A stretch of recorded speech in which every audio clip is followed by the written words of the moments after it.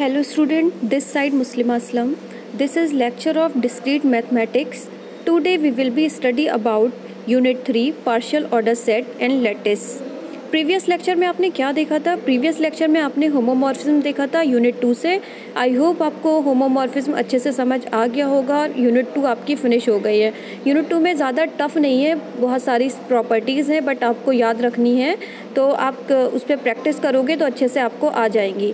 ठीक है तो आज हम बात करेंगे पार्शल ऑर्डर सेट की एंड लेटिस की। ये भी थोड़ा थोड़ा सा टफ लगेगा आपको ये टॉपिक स्टार्टिंग में। फिर अच्छा है इजी है मतलब आपको इसमें चार्ट और ग्राफ बहुत सारी चीज़ें बनानी है।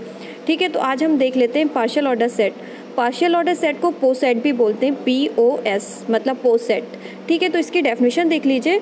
A non empty set A कोई भी आपके पास नॉन एम्पिटी सेट ए है ठीक है, वो खाली नहीं है, कोई भी सेट खाली नहीं है। A together with a binary relation R उसका बाइनरी रिलेशन करना है R is set to be a partial order set और पोसेट ठीक है पी ओ एस पोसेट भी से बोलते हैं। ठीक है if the following condition satisfy तो आपका पार्शियल ऑर्डर सेट तब तब पार्शियल ऑर्डर सेट कहलाएगा जब वो इन सारी रिलेशन को सेटिस्फाई करेगा जो ये कंडीशन दे रखी हैं। मैंने ये कंडीशन आपको दे रखी है P one P two P three के नाम से। पी वन आपका जो है वो है रिफ्लेक्सिबिलिटी और पी टू है आपका एंटीसीमेट्रिक और पी थ्री है आपका ट्रांसिबिलिटी तो आपने जो है ये इक्वेलेंस एक होता है equivalence order set equivalence order set जो होता है वो आपके, उसके पास भी थ्री प्रॉपर्टी होती हैं। थ्री कंडीशन को सेटिस्फाई करता है। उसके पास होती है एक रिफ्लेक्सिबिलिटी एक होती है सिमेट्रिक और ट्रांसिविटी वहाँ एंटी सिमेट्रिक नहीं होती है वहाँ सिमेट्रिक की कंडीशन होती है। और जो आपका ये पार्शल ऑर्डर सेट होता है, इसके पास होता है एंटी सिमेट्रिक तो ये जो है रिफ्लेक्सिविटी एंटीसिमेट्रिक ट्रांजिबिलिटी ये पार्शियल ऑर्डर सेट में आती हैं। इसे हम लेटिस भी बोलते हैं। ठीक है? तो ये जो है, आपको जो आपके सिलेबस में है, आपके सिलेबस में पार्शियल ऑर्डर सेट और लेटिस है। ठीक है? तो हम इसके बारे में देखेंगे। इक्वेलेंस तो आपको आएगा तो हम पढ़ाएँगे। वैसे आपके सिलेबस में अभी है नहीं। ठीक है? तो जो आपके सिलेबस में वो आप देख लीजिए। तो सबसे पहले हम बात कर लेते हैं रिफ्लेक्सिबिलिटी की। तो आपको ये कंडीशन आनी चाहिए अच्छे से कि रिफ्लेक्सिबिलिटी होती क्या है। देखिए रिफ्लेक्सिबिलिटी जो डेफिनेशन है, वो ये क्या कह रही है कि कोई भी सेट ए है, ठीक है? ए जो है, वो उसके अंदर एलिमेंट ए है। तो जो वो है, वो आपका सेट में होना चाहिए। मतलब वो ग्रेटर होना चाहिए इक्वल होना चाहिए रिलेशन करना चाहिए ए रिलेशन ए मतलब ए रिलेशन ए जो भी उस सेट के अंदर है, उसका रिलेशन ए के साथ हो। यानी कि ए जो है ए बिलोंग करे आपका सेट ए को। Then it satisfy the condition of respectively आपका क्या कह रहा है कि ये सारी कंडीशन को ये सेटिस्फाई करे तब आपका रिफ्लेक्सिबिलिटी कहलाएगा। तो रिफ्लेक्सिबिलिटी के लिए आपने क्या है कि रिफ्लेक्सिबिलिटी जो होती है वो आपस में आपकी रिफ्लेक्सिबिलिटी में क्या होता है कि हर एलिमेंट खुद अपने आप से रिलेट करता है। चाहे तो जो रिलेशन होगा वो रिफ्लेक्सिव होगा। ठीक है आपका को, कोई भी एलिमेंट होगा वो आपस में रिलेट करना चाहिए। जब वो रिलेट करेगा आपस में आपस में ही मतलब खुद में ही अपने आप में एक रिलेट करे रिलेशन करे तो वो क्या कहलाता है? रिफ्लेक्सिबिलिटी कहलाता है। ठीक है तो देख लेते हैं कैसे आपस में रिलेशन करें। तो सबसे पहले हम रिफ्लेक्सिबिलिटी को आराम से उसके एग्ज़ाम्पल के थ्रू समझते हैं। ठीक है ये कंडीशन आपको समझ नहीं आएँगी ज़्यादा लेकिन आपको ये कंडीशन याद करनी होगी। ठीक है तो रिफ्लेक्सिबिलिटी के लिए सबसे पहले हमने क्या ले रखा है? एक एग्ज़ाम्पल मैंने ले रखा है डायगनल। डायगनल की बात करते हैं। डायगनल मैट्रिक्स से आप ईजिली समझ सकते हो कि कैसे हम इस एग्ज़ाम्पल जो दे रखे हैं, उसको ईजी समझने की कोशिश करना आप डायगनल से। ये डायगनल मैंने वैल्यूज़ दे रखी हैं आपकी वन टू थ्री मैट्रिक्स में वन वन टू टू ये आप इसका देख लिए, वैसे जो है रिफ्लेक्सिबिलिटी को कुछ बुक में आपको डायगनल से भी बोला जाता है। अगर डायगनली एलिमेंट्स आपके किसी भी सेट में आ रहे हैं तो वो आपका रिफ्लेक्सिबिलिटी होता है। जैसे डायगनली का मैंने बना रखा है, एक देखिए गोला करके सर्किल बनाया और डायगनल ये ट्राइंगल का वो ले रखा है मतलब डायगनली और उसके नीचे ए सेट लगाए कहीं कहीं डायगनल का जो रिफ्लेक्सिबिलिटी का सिंबल है, वो भी, ये भी कहलाता है, ठीक है? तो चलो ये इसके बाद बाद में करते हैं। पहले एक एग्ज़ाम्पल देख लेते हैं। आपके पास एग्ज़ाम्पल है A is equal to one two three ठीक है, आपके पास एग्ज़ाम्पल है A equal to one two three तो आपके पास कोई सेट है, इसका रिलेशन आप कैसे बनाओगे? तो इनका रिलेशन कब सेटिस्फाई करेगा? तो वो कंडीशन हमारे पास होनी चाहिए। कंडीशन हमारी रिफ्लेक्सिबिलिटी की क्या है? कि जो है ए ए के साथ मतलब वो करे। ए ए के साथ करे। कोई भी एलिमेंट है, वो खुद के साथ अपना रिलेशन दिखाए। खुद के साथ रिलेटिविटी करे, तब वो रिफ्लेक्सिबिलिटी होगा।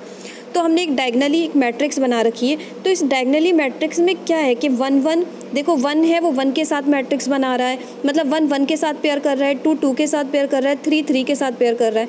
मतलब कि वो खुद से रिलेशन कर रहा है, वन वन के साथ रिलेशन कर रहा है टू टू के साथ रिलेशन कर रहा है और थ्री थ्री के साथ रिलेशन कर रहा है। तो रिफ्लेक्सिबिलिटी क्या कहती है? कि रिफ्लेक्सिबिलिटी कहती है किसी भी मैट्रिक का जो डायगनली पार्ट होता है, जो डायगनली है, होता है, वो आपका रिफ्लेक्सिबिलिटी होता है। ठीक है, जैसे किसी भी रिलेशन किसी भी सेट में रिलेशन जो हो, उसका डायगनली अगर वो प्रूव कर रहा है तो वो आपका क्या है? रिफ्लेक्सिबिलिटी है। तो देखिए, मैंने इसके लिए एग्ज़ाम्पल दे रखे हैं। A to one two three तो सबसे पहले रिलेशन आर वन मैंने एग्ज़ाम्पल दे रखा है। ये आर वन का मतलब पहला एग्ज़ाम्पल ये एम है। कोई भी सेट आपका एम है, खाली है। तो खाली है तो इसका मतलब उसके अंदर कुछ है ही नहीं, वो किसी मतलब अपने ना वो खुद के साथ रिलेशन कर रहा है, ना किसी और के साथ कर रहा है। तो इसका मतलब कि वो रिफ्लेक्सिबिलिटी नहीं होगा, वो सेट रिफ्लेक्सिबिलिटी नहीं है। कोई भी सेट है, वो खाली है तो उसका कोई रिलेशन ही नहीं है। जब कोई रिलेशन ही नहीं है तो हम चेक कैसे करेंगे? जैसे वन वन का वो खुद के साथ भी नहीं कर रहा। तो ये आपका क्या होगा? आर वन जो है, वो फाइव वो आपका क्या है? रिफ्लेक्सिबिलिटी नहीं है। तो मैंने इसलिए क्रॉस का निशान लगा दिया है। अब आर की बात करते हैं। आर में क्या है? मैट्रिक्स है।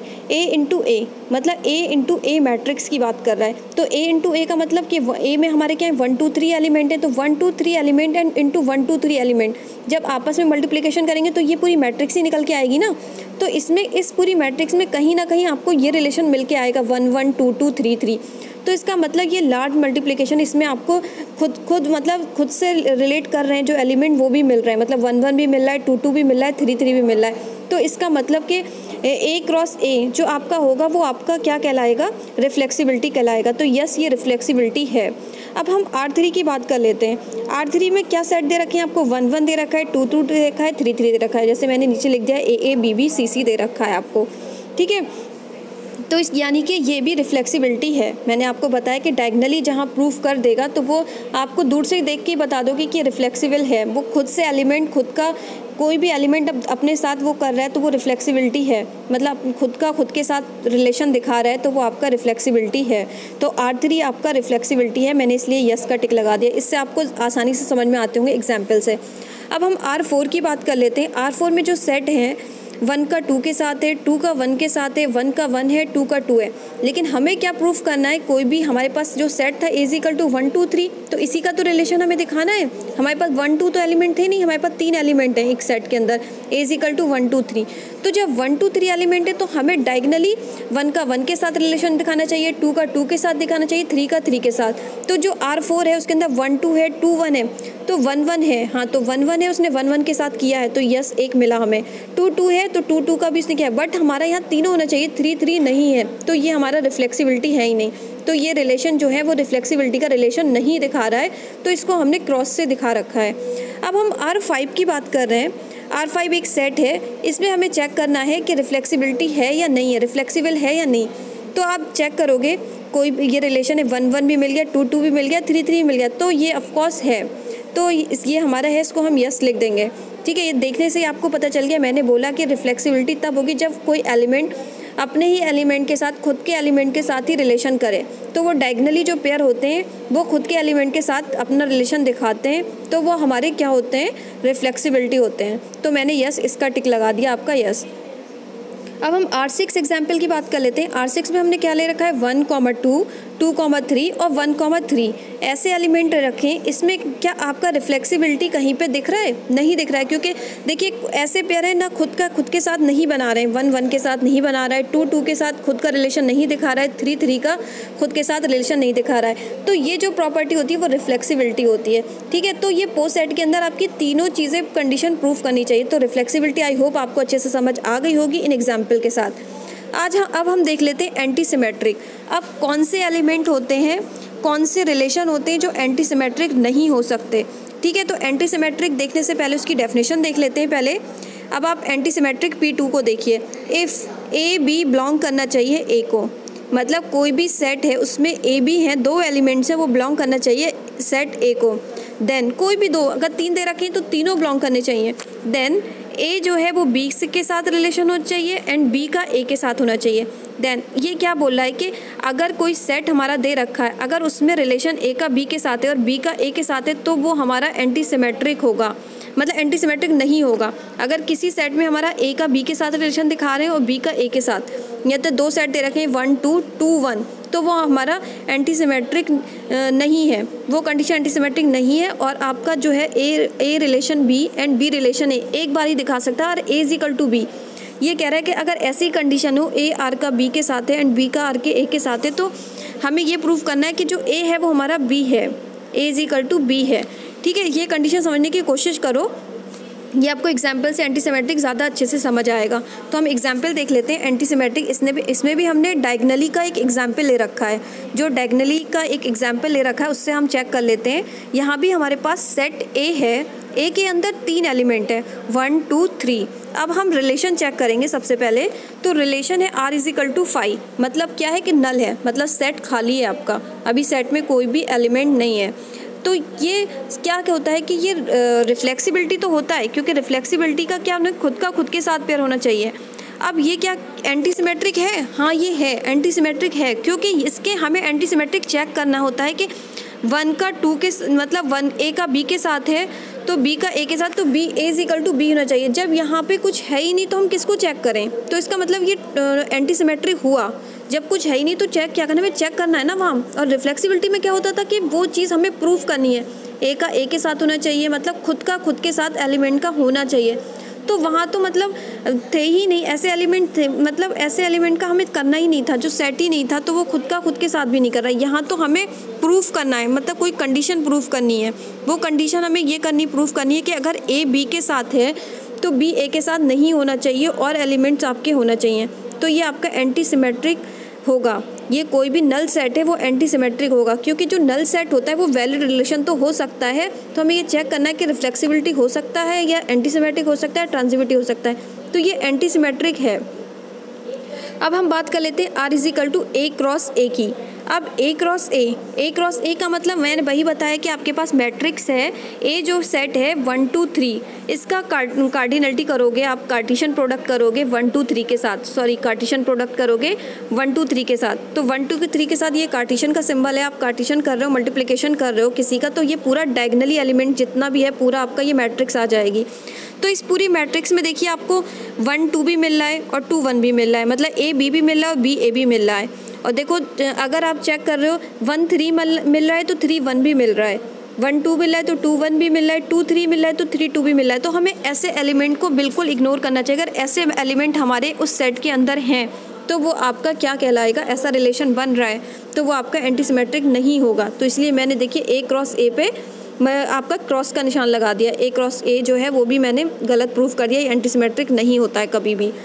अब हम रिलेशन की एक जो तीसरा क्वेश्चन देखते हैं, तीसरा रिलेशन देखते हैं one one two two three three क्या ये एंटीसीमेट्रिक है? हाँ ये एंटीसीमेट्रिक है, क्योंकि एंटीसीमेट्रिक हमें रिलेशन चेक करना होता है ना, कि कि ए बी है तो बी ए है तो हमारे पास ये कंडीशन नहीं होनी चाहिए। बट यहाँ है ही नहीं कि ए बी और बी ए वाली कंडीशन है ही नहीं, जो हमारी दूसरी प्रूफ करे ए टू बी करे। तो यहाँ पर ए इजिकल टू बी तो हो सकते हैं। One one two one three three ये डायगनली जो एलिमेंट्स होते हैं वो हमारे रिलेशन को प्रूफ करते हैं एंटीसीमेट्रिक तो ये आपका एंटीसीमेट्रिक है। अब हम आर इज़ इक्वल टू देखिए हमारा चौथा वाला देख लेते हैं आपका। आर इज़ जो चौथे के थर्ड के नीचे है, वो मैंने एक नंबर गायब कर दिया, लेकिन आप देख लीजिए R is equal to one two two three और वन थ्री अब ये है या नहीं है? तो आप देख सकते हो कि वन टू वन टू है तो टू थ्री है वन थ्री भी है। तो मतलब ऐसे एलिमेंट हैं आपके जो ए इजिकल टू बी मतलब इस टाइप के एलिमेंट हैं जो इजिकल टू बी कह सकते हो आप, और आपका ए बी और बी ए नहीं है। मतलब ऐसे ऐसे एलिमेंट हमें इग्नोर करने चाहिए जो ए बी हो और या बी ए हो। एक साथ नहीं होना चाहिए उस सेट में। तो देखो, ऐसे एलिमेंट तो कोई हमारे पास है ही नहीं। वन टू है टू थ्री है वन थ्री सारे अलग अलग हैं। ठीक है तो ये हमारा एंटी सेमेट्रिक होगा। अब हम आर फोर पे देख लेते हैं। R is equal to two one two three one one ये भी होगा, क्योंकि हमारे पास ऐसा कोई एलिमेंट है ही नहीं जो वन टू हो टू वन हमें ऐसे एलिमेंट को इग्नोर करना चाहिए जो one two two one one three three one ऐसे एलिमेंट ना हो टू थ्री थ्री टू मतलब कि पहला एलिमेंट और वो दूसरा एलिमेंट ऐसा नहीं होना चाहिए कि पहला, किसी सेट का पहला एलिमेंट वन टू है तो जो दूसरा सेट है टू वन ऐसा एलिमेंट है ही नहीं इसमें तो ये हमारा ये भी एंटी सिमेट्रिक होगा। अब हम फाइव की बात कर लेते हैं। फाइव में रिलेशन आप चेक करिए। ये आपका टू थ्री है थ्री टू है। टू टू है थ्री थ्री देखो, यहाँ आया। ये आपका एंटी सिमेट्रिक नहीं होगा। क्यों नहीं होगा? क्योंकि हमें ऐसी कंडीशन मिल गई। Two three three two two two three तो हमें टू थ्री और थ्री टू मिल गया तो इसका मतलब कि ये हमारा एंटीसीमेट्रिक नहीं है। अब हम आर लास्ट सिक्स वाला देख लेते हैं। One one two two one two तो ये हमारा एंटीसीमेट्रिक है, क्योंकि यहाँ पे कोई ऐसी कंडीशन नहीं है कि वन का टू के साथ है या टू का वन के साथ है थ्री टू है या टू थ्री है। तो ये ऐसी कोई कंडीशन नहीं है तो ये हमारा एंटीसीमेट्रिक है। सिंपल ये चीज़ समझो कि हमें एंटीसीमेट्रिक तब नहीं प्रूफ करना है जब हमारा हमारा कोई भी कंडीशन ये हो कि वन का टू के साथ। कोई भी ऐसा एलिमेंट मतलब ए बी के साथ हो बी ए के साथ हो रिलेशन दिखाता हो, और तो ऐसा जो हमारा रिलेशन होता है, वो हमारा एंटी सिमेट्रिक नहीं होता है। तो ठीक है, ये आपको आई होप एंटी सिमेट्रिक भी अच्छे से समझ आ गया होगा। अब हम बात कर लेते हैं आपके ट्रांसिविटी की। तो ट्रांसिविटी देखने से पहले आप जो थर्ड इसकी कंडीशन है, ये ट्रांसिविटी पोसेट की जो थर्ड कंडीशन है ट्रांसिविटी ट्रांसिविटी क्या कहता है कि if A B C belong करने चाहिए ए को, किसी सेट में आपके वन टू थ्री हैं, वो बिलोंग कर रहे हैं सेट ए को। Then A B B C then A C मतलब ऐसी वाली कंडीशन है तो आपको देन देन वाली कंडीशन ये देखनी है ए सी मतलब ए बी बी सी ऐसी कंडीशन है तो हमें ये प्रूफ करना है तीनों चीज़ें एक साथ। ए बी बी सी ए सी तो हमें ये ऐसी कंडीशन प्रूव करनी है तो इसके लिए हम एग्ज़ाम्पल देखेंगे, उससे ज़्यादा बेस्ट समझ में आएगा आपको। ज़्यादा अच्छे से समझ लोगे। अब ट्रांसिविटी का एग्ज़ाम्पल देखिए। एग्ज़ाम्पल मैंने सबसे पहले यहाँ भी आपका एक डायगनली मैट्रिक्स बना रखी है। पूरे एक सेट वन टू थ्री का पूरा कार्टिशन प्रोडक्ट ले रखा है। ठीक है? अब कार्टिशन प्रोडक्ट मतलब आपको पता ही होगा क्रॉस वाला होता है। तो क्रॉस वाला ए क्रॉस ए तो मैंने ये पूरा ले रखा है। ठीक है? इसके लिए हम रिलेशन दिखाते हैं पहला example R is equal to A B B A A B B B तो इसको देखने से पहले आप ये समझ लो, मैंने आपको एक चीज़ ऐसी दिखाई है। देखिए, आपका जो मैट्रिक्स है, उसके नीचे मैंने एक एग्ज़ाम्पल देखा है। ऐसे सेट हमें इग्नोर करने हैं। ए का बी के साथ हो बी का सी के साथ हो। मतलब कि मैंने नीचे दिखा रखा है ए एरो मतलब इसका कहने का मतलब ए बी बी सी मतलब इसका कहने का मतलब है ए एरो बी ए के एलिमेंट्स बी में हो बी के एलिमेंट्स सी में हो। हमें ऐसे एलिमेंट को इग्नोर करना चाहिए बी बी ए सी तो ये तीनों कंडीशन हमारी किसी सेट के अंदर होंगी, तब हमारा वो ट्रांजिबिटी होगा। ठीक है? अगर ये तीनों कंडीशन नहीं है तो हमारा ट्रांजिबिटी नहीं है। ठीक है, ऐसे हमें चेक करना होगा। अगर वो है ही नहीं तो फिर तब तो वो ट्रांजिबिटी है। जब वो है ही नहीं तो वो चेक किसे करेगा? अगर ए बी बी सी है और अगर ए सी नहीं है तो वो तब वो चेक करेगा, तब वो आपका ट्रांजिबिटी है या नहीं, तब चेक करेगा।